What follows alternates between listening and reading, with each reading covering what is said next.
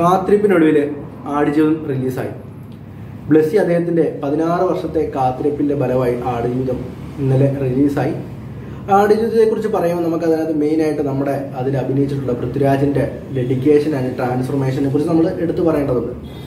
അതുപോലെ ആ സിനിമയിൽ ഏറ്റവും വലിയ പോസിറ്റീവ് ആയിട്ടുള്ള എ ആർ റഹ്മാന്റെ മ്യൂസിക്കിനെ കുറിച്ച് നമ്മൾ എടുത്തു പറയേണ്ടതുണ്ട്.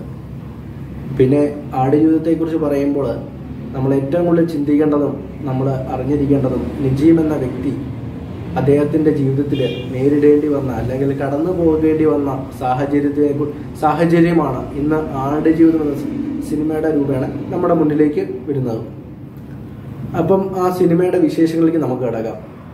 ഇപ്പോൾ സിനിമയിൽ നമുക്ക് പൃഥ്വിരാജിനെ കുറിച്ച് അതിലെ മെയിൻ നായകനായ പൃഥ്വിരാജിനെ കുറിച്ച് നോക്കുകയാണെങ്കിൽ അദ്ദേഹം ഈ സിനിമയിലെ എടുത്തിരിക്കുന്ന ഡെഡിക്കേഷൻ ട്രാൻസ്ഫോർമേഷൻ ഇന്ന് സോഷ്യൽ മീഡിയ മുഴുവൻ ചർച്ച ചെയ്യുന്നൊരു വിഷയമാണ്. ആ ഡെഡിക്കേഷന്റെ ട്രാൻസ്ഫോർമേഷന്റെ അദ്ദേഹം കഷ്ടപ്പെട്ട് അല്ലെങ്കിൽ അദ്ദേഹം ഇത്രം ആറ് വർഷത്തോളം ഈ സിനിമയ്ക്ക് വേണ്ടി കഷ്ടപ്പെട്ടതിന്റെ ഫലം നമുക്ക് മനസ്സിലാക്കി തരാൻ ആടുജീവിതത്തിലെ ഒരേ ഒരു സീൻ ആ ഒരു സീൻ നിങ്ങൾ സിനിമ കാണുമ്പോഴത്തേക്കിനും മനസ്സിലാവും. ആ ഒരു സീനിൽ നമുക്ക് മനസ്സിലാക്കി തരും. ആ അദ്ദേഹം എടുത്തിട്ടുള്ള ആ ഡെഡിക്കേഷൻ എന്താണ്? അല്ലെങ്കിൽ ഈ സിനിമയ്ക്ക് വേണ്ടി എടുത്ത ട്രാൻസ്ഫോർമേഷൻ എന്താണ്? പിന്നീട് അദ്ദേഹം തന്നെ പറഞ്ഞു ഇനി ഒരിക്കലും ഞാനിങ്ങനെ ഇതുപോലൊരു എന്താണ് സിനിമ അദ്ദേഹത്തിന്റെ ജീവിതത്തിൽ ചെയ്യുകയില്ല എന്ന്. ഇന്ന് അദ്ദേഹം എടുത്ത റോളിന്റെ ഫലമായിട്ട് നമുക്ക് നമ്മുടെ സുഹൃത്തുക്കളോട് പറയാം. അല്ലെങ്കിൽ ഇങ്ങനെ ഹോളിവുഡിൽ ക്രിസ്ത്യൻ ബേൽ ഉള്ളതുപോലെ ബോളിവുഡിൽ അമീർ ഖാൻ ഉള്ളതുപോലെ തമിഴിൽ വിക്രം ഉള്ളതുപോലെ നമുക്കും നമ്മുടെ പൃഥ്വിരാജ് ഉണ്ട്. അദ്ദേഹത്തിന്റെ ട്രാൻസ്ഫോർമേഷൻ നമുക്ക് കാണിച്ചു കൊടുക്കാം. ഇങ്ങനെ ഒരു വേൾഡ് ക്ലാസ് സിനിമയിലൂടെ. പൃഥ്വിരാജിന്റെ ഇതിലേക്ക് വരുമ്പോഴത്തേക്കിനും അദ്ദേഹം ഈ സിനിമയുടെ ഒരു ഭൂരിഭാഗം സ്ഥലങ്ങളിലും അദ്ദേഹം പൃഥ്വിരാജ് എന്ന ആക്ടറായിട്ടല്ല അഭിനയിച്ചിരിക്കുന്നത്. നജീം എന്നൊരു വ്യക്തിയായിട്ട് അദ്ദേഹം ഒരു ഏകദേശം ഒരു ജീവിച്ച് പോവുകയായിരുന്നു. സിനിമയുടെ അവസാനം വരുമ്പോൾ മാത്രമാണ് എനിക്ക് പൃഥ്വിരാജിന്റെ ഒന്ന് രണ്ട് മാനറിസം അതായത് മരുഭൂമിയിലൂടെയുള്ള യാത്രയിൽ അദ്ദേഹം രണ്ട് മൂന്ന് ഏരിയയിൽ അദ്ദേഹമായിട്ട് മാറിയിട്ടുണ്ടോ എന്ന് എനിക്ക് എന്റെ ഒരു പേഴ്സണലായിട്ട് എനിക്ക് തോന്നിയിട്ടുള്ള കാര്യമാണ് ഞാൻ പറഞ്ഞത്. ആ ഒരു രംഗം നമ്മൾ മാറ്റി നിർത്തി കഴിഞ്ഞാൽ സിനിമയുടെ ഒട്ടുമിക്ക അല്ലെങ്കിൽ ബാക്കി സിനിമ മുഴുവൻ അദ്ദേഹം നജീം എന്ന ഒരു വ്യക്തിയായിട്ട് ജീവിക്കുകയായിരുന്നു. ഇനി നമുക്ക് ഇതിന് മറ്റൊരു ഏറ്റവും വലിയ പോസിറ്റീവ് എ ആർ റഹ്മാന്റെ മ്യൂസിക്കിലേക്ക് കിടക്കാം. ഈ സിനിമയിലെ എല്ലാ സീനുകളിലും ഓരോ സീനുകൾക്കും നമുക്ക് മനസ്സിലാക്കി അല്ലെങ്കിൽ ആ സീനിന്റെ ഒരു പ്രാധാന്യം അല്ലെങ്കിൽ മൻ ഫീൽ ചെയ്യിപ്പിക്കാനായിട്ട് എ ആർ റഹ്മാന്റെ മ്യൂസിക് അതിൽ വഹിച്ചിരിക്കുന്ന പങ്കുകളെ കുറിച്ച് നമുക്ക് എടുത്തു പറയേണ്ടിയിരിക്കുന്നു. അദ്ദേഹം ഈ സിനിമയിലെ ഒരു പാട്ട് പെരിയോനെ റഹ്മാനെ എന്നുള്ള പാട്ട്. അത് ഇപ്പം ഒരു തവണയെങ്കിൽ ഒന്ന് പാടി നോക്കാത്തവരായിട്ട് നമ്മുടെ മലയാളികൾ ആരും തന്നെ കാണില്ല. അപ്പം ആ ഒരു രീതിയിൽ തന്നെ അദ്ദേഹത്തിന്റെ എല്ലാ പാട്ടുകളും ഒരു ക്ലാസിക് ടച്ചുള്ള സാധനങ്ങളായിരിക്കും. അത് ഈ ഒരു സിനിമയ്ക്ക് വേണ്ടി അദ്ദേഹം ഒരു വേൾഡ് ക്ലാസ് മാസ്റ്റർ പീസിലേക്ക് കൺവേർട്ട് ചെയ്ത് ഈ സിനിമയുടെ എവിടെയൊക്കെ പ്ലേസ് ചെയ്യുന്നോ അതാത് രീതിയിലുള്ള മരുഭൂമിയിലെ ആ ഫീൽസ് ഫീലിംഗ് നമുക്ക് ലഭിക്കുന്നതിന് വേണ്ടി അദ്ദേഹം അവിടെ യൂസ് ചെയ്തിരിക്കുന്ന മ്യൂസിക്കുകൾ അതുപോലെ തന്നെ നാട്ടിൻപുറത്തെ ഇതിലേക്ക് വരുമ്പോഴത്തേക്കിനുള്ളത്. അതെല്ലാം വളരെ ഗംഭീരമായിട്ട് തന്നെ അദ്ദേഹം ചെയ്തു വെച്ചിട്ടുണ്ട്.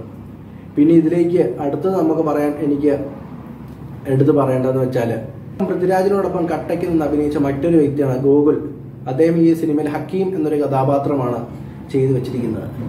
അദ്ദേഹം സിനിമയുടെ അവസാനം വരുമ്പോഴത്തേക്കിനും എന്താണ് ഒരു നമ്മൾ മരുഭൂമിയിൽ നടന്നു പോകുമ്പോഴത്തേക്കിനും വിഷം നലഞ്ഞ് അല്ലെങ്കിൽ ദാഹിച്ച് പരവേശത്തിന്റെ നിസ്സഹായതയുടെ അവസ്ഥയിൽ നിന്നും പ്രതീക്ഷ കാണുമ്പോഴത്തേക്കിനും നമ്മൾ ആ ആ പ്രതീക്ഷയിൽ കാണിച്ചു കൂട്ടുന്ന ആക്രാന്തം അല്ലെങ്കിൽ കാണിച്ചു കൂട്ടുന്ന മറ്റ് എന്താ പ്രവൃത്തികളെല്ലാം അദ്ദേഹം ഈ സിനിമയിൽ വളരെ ഗംഭീരമായിട്ട് തന്നെ അവസാനം നല്ല രീതിയിൽ ചെയ്ത് ഗംഭീരമായിട്ട് തന്നെ ചെയ്തു വെച്ചിട്ടുണ്ട്.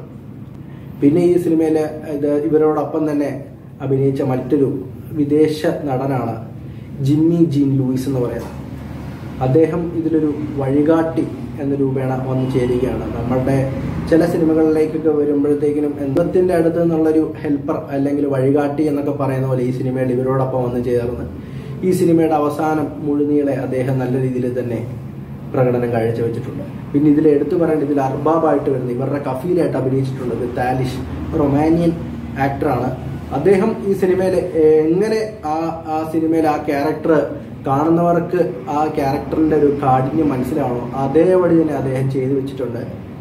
മറ്റ് അഭിനയിച്ചിട്ടുള്ളത് അമലാപ്പോളുണ്ട് അമലാപ്പോളും നല്ല രീതിയിൽ തന്നെ കാഴ്ചവെച്ചിട്ടുണ്ട്. വെച്ചിട്ടുണ്ട് പിന്നെ ഇത് നമുക്ക് ഇതിന്റെ ടെക്നിക്കൽ സൈഡും അതുപോലെ തന്നെ ഈ സിനിമ ഓൾറെഡി ഞാൻ പറഞ്ഞത് ഇതൊരു ടെക്നിക്കൽ സൈഡും ഇതിനെ നമ്മൾ പ്രശംസിക്കേണ്ടിയിരിക്കുന്നു. ഇതിൽ സൗണ്ടോഗ്രഫി ചെയ്തിരിക്കുന്നത് ഓസ്കാർ ജേതാവായ സർസൂൽ പൂക്കുട്ടിയും കൂടിയാണ്. അതുപോലെ ഇതിന്റെ മേക്കപ്പ് ആർട്ടിസ്റ്റ് അതുപോലെ എഡിറ്റർ എല്ലാവരെയും തന്നെ നമ്മൾ ഇതിന്റെ പുറകിൽ പ്രവർത്തിച്ച അണിയറ പ്രവർത്തകരെ എല്ലാം നമ്മൾ പ്രശംസിക്കേണ്ടിയിരിക്കുന്നു. കാരണം അതുപോലൊരു സിനിമ ഇത്രയും വർഷത്തെ ഇവരുടെ കഷ്ടപ്പാടിന്റെ ഒരു ഇതാണ് നമ്മുടെ മുന്നിലേക്ക്. അത്ര അത്രയും ക്വാളിറ്റിയിൽ തന്നെ അവർ ചെയ്തു വെച്ചിട്ടുണ്ട്. ഇതിന്റെ സ്റ്റോറി വരുമ്പോൾ നമുക്ക് ഏകദേശം ഭൂരിപക്ഷം പേർക്കും ഈ നോവൽ വായിച്ചവർക്കെല്ലാം തന്നെ ഏകദേശം പ്ലോട്ട് പറയാം. അല്ലെങ്കിൽ ഇതിന്റെ കേട്ടറിഞ്ഞിട്ടുള്ള പല ഇന്റർവ്യൂകളിലായിട്ട് നമ്മൾ അറിഞ്ഞിട്ടുള്ള കാര്യങ്ങൾ തന്നെയാണ്. ഫസ്റ്റ് ഹാഫ് സെക്കൻഡ് ഹാഫ് നമുക്ക് എടുത്തു നോക്കുകയാണ്. ഫസ്റ്റ് ഹാഫിൽ നമ്മുടെ നജീബ് എന്ന വ്യക്തി നാട്ടിൻപുറത്ത് നിന്നുകൊണ്ട് അദ്ദേഹം ഇങ്ങനെ ഗൾഫിലേക്ക് വന്ന ഒരു ആർട്ടിലേൻ റോളിലേക്ക് നിയോഗിതനാവുന്നേ. അതൊക്കെയാണ് ഫസ്റ്റ് ഹാഫിൽ സെക്കൻഡ് ഹാഫിലേക്ക് അദ്ദേഹം മരുഭൂമിയിൽ നിന്ന് രക്ഷപ്പെടുന്നതിന് വേണ്ടിയിട്ടുള്ള ഇതൊക്കെയാണ്. ഫസ്റ്റ് ഹാഫിൽ നോക്കുകയാണെങ്കിൽ സെക്കൻഡ് ഹാഫ് എനിക്ക് ഇച്ചിരി ഒരു സ്ലോ ആയിട്ട് തോന്നി. പക്ഷെ അത് സിനിമയുടെ ആസ്വാദനത്തെ ഇതുവരെ ബാധിച്ചിട്ടില്ല. പിന്നെ ഇതിൽ എനിക്കിഷ്ടപ്പെട്ട കുറച്ച് മൊമെന്റുകൾ കാര്യങ്ങൾ എടുത്ത് നമ്മൾ നോക്കുകയാണെങ്കിൽ ഇതിൽ പൃഥ്വിരാജ് എന്നെ പറഞ്ഞ കാര്യമുണ്ട്. അത് അവന്റെ ഒട്ടകത്തിന്റെ കണ്ണിലൂടെ പൃഥ്വിരാജിനെ റിഫ്ലക്റ്റ് ചെയ്തെടുക്കുന്ന ഒരു ഷോട്ട് അത് വളരെ ഗംഭീരമായിട്ട് അല്ലെങ്കിൽ വളരെ രസകരമായിട്ട് അല്ലെങ്കിൽ എനിക്ക് അത് വളരെ ഗംഭീരമായിട്ട് തന്നെ തോന്നി. പിന്നെ എനിക്ക് ഇഷ്ടപ്പെട്ടതെന്ന് വെച്ചാൽ ഫസ്റ്റ് ഹാഫിന്റെ ഒരു സോങ് ഉണ്ട് റൊമാന്റിക് സോങ്ങിൽ ആ സോങ്ങിന്റെ അവസാനവും ആദ്യവും ഇവർ ഉപയോഗിച്ച ട്രാൻസിഷൻ ഉണ്ട്. വെള്ളം മരുഭൂമിയിലൂടെ വെള്ളം ഒഴുകി വരുന്നതിൽ നിന്ന് നേരെ നമ്മുടെ നാട്ടിലെ പച്ചപ്പിലേക്ക് മാറുകയും അവസാനം നമ്മുടെ നാട്ടിലെ മണൽ ആറിന്റെ തീരത്തുള്ള മണലിൽ നിന്ന് മരുഭൂമിയിലെ മണലിലേക്കുള്ള ട്രാൻസിഷൻ വളരെ നല്ല രീതിയിൽ തന്നെ അവർ എടുത്തു വെച്ചിട്ടുണ്ട്. പിന്നെ സിനിമയുടെ അവസാനം വരുമ്പോഴത്തേക്കും മരുഭൂമിയിൽ നിന്ന് അവശനായി വീഴുന്ന പൃഥ്വിരാജിന്റെ കയ്യിൽ നിന്ന് വീഴുന്ന ഒരു കോളാട് ഒരു ബോട്ടിൽ നേരെ ടാറിലേക്ക് ഉരുണ്ട് വരുമ്പോഴത്തേക്കിനും ഉപയോഗിക്കുന്ന ശബ്ദം ടാറിൽ ഉപയോഗിക്കുന്ന ടാറിലേക്ക് വരുമ്പോഴത്തേക്കിനും ആ സീനൊക്കെ തിയേറ്ററിൽ നല്ല കൈയടി തന്നെയായിരുന്നു. ഇഷ്ടപ്പെട്ട മറ്റൊരു സീൻ എന്ന് പറയുന്നത് സിനിമയുടെ അവസാനം പൃഥ്വിരാജ് ആ മരുഭൂമിയിൽ രക്ഷപ്പെട്ട് ടൗണിലേക്ക് വരുമ്പോൾ അദ്ദേഹം ഒന്ന് ഒരു റോഡിനൊരു സൈഡിൽ ഇരിക്കുന്ന ഒരു രംഗമാണ്. ആ രംഗത്ത് ബാക്ക്ഗ്രൗണ്ടിൽ നമ്മുടെ മലബാർ ഹോട്ടലിനുള്ള ഒരു ചെറിയൊരു ഹോട്ടലിന്റെ ഒരു ബോർഡ് കാണിക്കുന്ന ഒരു സാധനമുണ്ട്. അതുകൊണ്ട് എനിക്ക് വളരെ നല്ല രീതിയിൽ വളരെയധികം ഇഷ്ടപ്പെട്ടു. ആ സീൻ എന്തോ ഒരു ഫീൽ ഉണ്ടായിരുന്നു. ആ ഒരു സിനിമ നമ്മുടെ അന്യ നാടുകളിൽ ചെന്ന മലയാളികളെ മീറ്റ് ചെയ്യുമ്പോൾ നമ്മുടെ സന്തോഷമില്ല? അത് കാണിക്കുന്ന ഒരു ഒരു സന്തോഷം ഉണ്ടായിരുന്നു ആ സീനിന് അപ്പോൾ ഇത്രയേ ഉള്ളൂ. സിനിമ കണ്ടിട്ടില്ലെങ്കിൽ നിങ്ങൾ തീർച്ചയായിട്ടും തിയേറ്ററിൽ തന്നെ പോയി. ഒരു ഡോൾബി അറ്റ്മോസ്ഫിയറിന് എ ആർ റഹ്മാന്റെ മ്യൂസിക് നല്ല രീതിയിൽ തന്നെ എൻജോയ് ചെയ്ത് ഈ സിനിമ നിങ്ങൾ ആസ്വദിക്കുക. ഫോർ കെ ഡോൾബി അറ്റ്മോസ്ഫിയർ പോയിരുന്നു. സിനിമ നിങ്ങൾ കണ്ടിട്ടുള്ളവരാണെങ്കിൽ സിനിമയുടെ അഭിപ്രായങ്ങൾ ഞാൻ എന്തെങ്കിലും പറയാൻ വിട്ടുപോയിട്ടുണ്ടെങ്കിൽ താഴെ കമന്റിൽ രേഖപ്പെടുത്തുക.